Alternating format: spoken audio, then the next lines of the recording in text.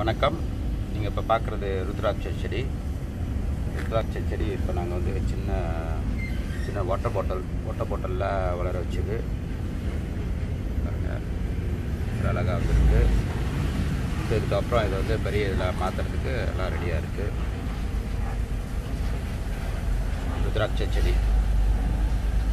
இதிலேருந்து வந்தது.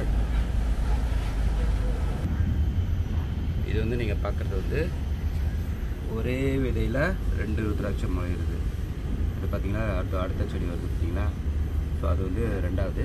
அதே இலையில அதே விதையிலேருந்து ரெண்டு. ஒரே இதில் வந்து ரெண்டு முளைச்சிருக்கு. ஒரு ருத்ராட்ச பழத்தில்